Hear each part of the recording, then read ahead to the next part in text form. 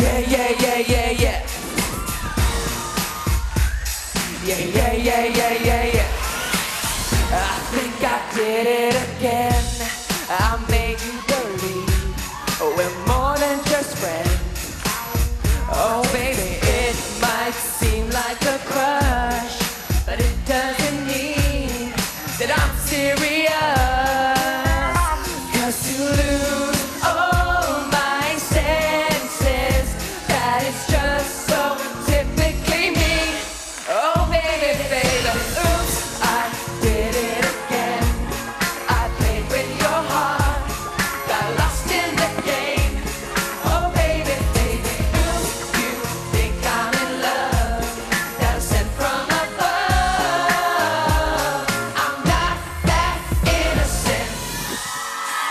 Edward, before you go, I want to give you something.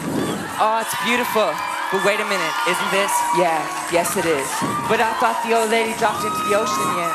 Well, Edward, I went down and got it for you. Oh, you shouldn't have.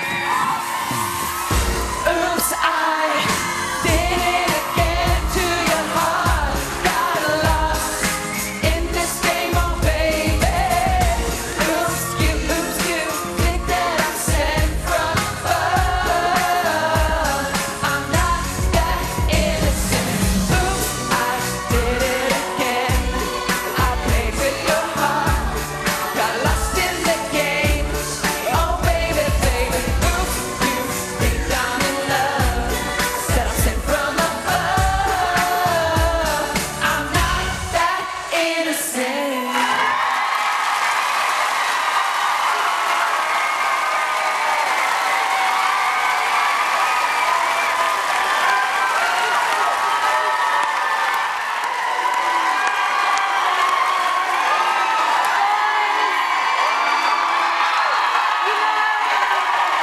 a big week for you guys.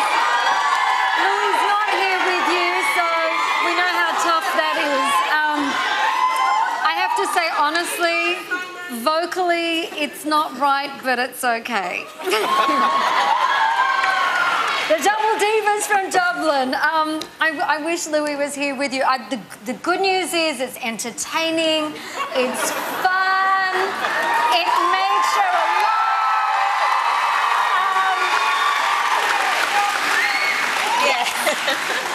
Girl? Do you know, I have to say, when it comes to Saturday night, the act I'm always most looking forward to is you two.